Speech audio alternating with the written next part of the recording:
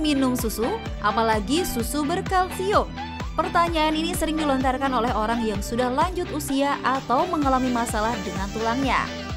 Katanya kalsium yang terkandung dalam susu bisa menyehatkan tulang. Wah, bener nggak ya? Banyak mitos dan fakta tentang susu kalsium. Ada yang berpengaruh buruk bagi kesehatan lo pemirsa.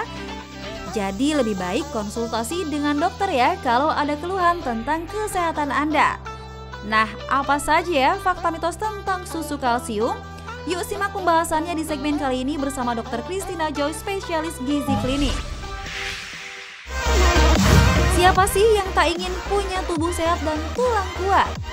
Fakta mitos yang pertama katanya minum susu dapat menyehatkan tubuh. Wah, fakta atau mitos? Itu mitos.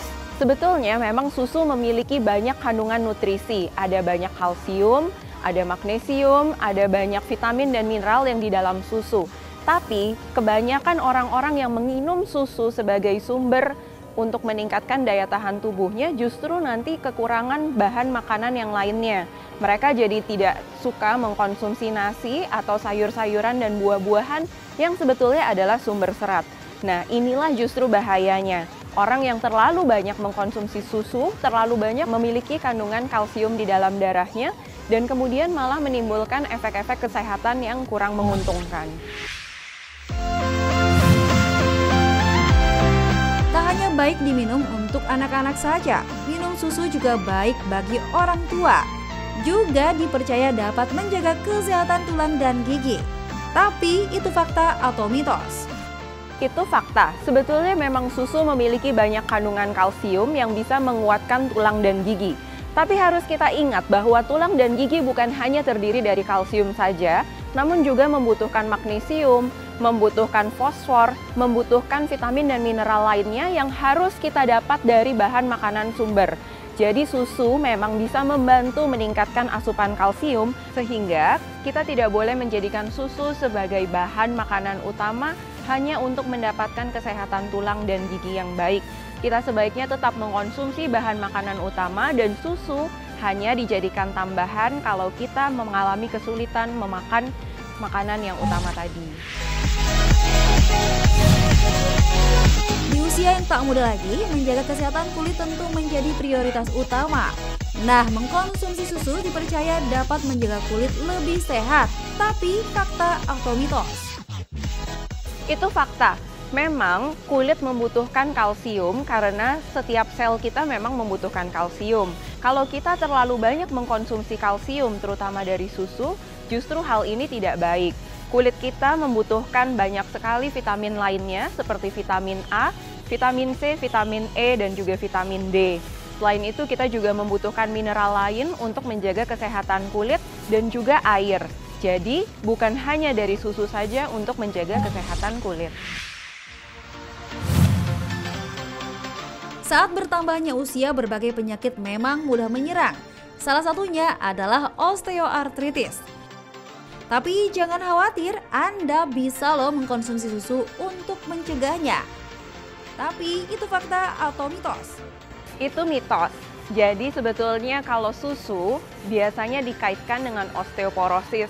Namun berdasarkan penelitian yang banyak, justru di negara-negara yang mengkonsumsi terlalu banyak susu memiliki kadar kalsium yang terlalu tinggi dan malah mengalami osteoporosis. Untuk osteoartritis sendiri adalah kondisi radang pada sendi dan hal ini tidak bisa dikoreksi dengan mengkonsumsi susu. Justru untuk kondisi radang, sebaiknya kita menghindari makanan-makanan yang menyebabkan radang dan juga mengkonsumsi makanan yang bisa menurunkan kondisi radang tersebut. Atau mitos selanjutnya katanya minum susu dapat menurunkan risiko serangan jantung. Bener nggak ya? itu mitos. Jadi susu sebagai sumber kalsium kalau dikonsumsi terlalu berlebihan justru akan meningkatkan serangan jantung. Sudah banyak penelitian di mana orang-orang yang mengkonsumsi susu atau makanan yang terlalu tinggi kalsiumnya dan suplementasi kalsium yang terlalu tinggi ini justru akan menyebabkan serangan jantung. Jantung memang membutuhkan kalsium, namun hanya dalam dosis tertentu yang biasanya bisa kita dapatkan dari bahan makanan sumber kalau kita banyak mengkonsumsi sayuran dan juga bahan makanan sumber kalsium seperti ikan, brokoli, atau sumber kalsium lainnya.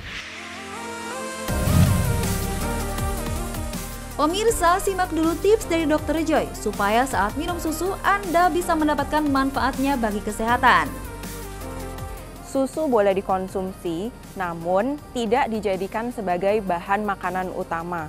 Susu hanya menjadi makanan pendamping untuk kondisi tertentu yang memang tidak memungkinkan makan bahan makanan utama. Untuk memiliki kesehatan tulang dan gigi yang baik, sebaiknya kita tetap mengkonsumsi bahan makanan yang sebanyak-banyaknya. Dari banyak sayuran, bahan protein nabati dan juga hewani, dan juga sumber karbohidrat yang kompleks yang baik. Nah, ini akan menjamin bahwa kita memiliki sumber kalsium, magnesium, segala mineral dan juga vitamin yang dibutuhkan untuk tulang dan gigi yang baik.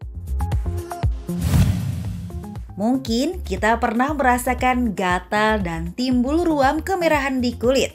Biasanya sebagian orang menyebutnya alergi. Tapi tahu nggak sih pemirsa, alergi banyak loh macamnya.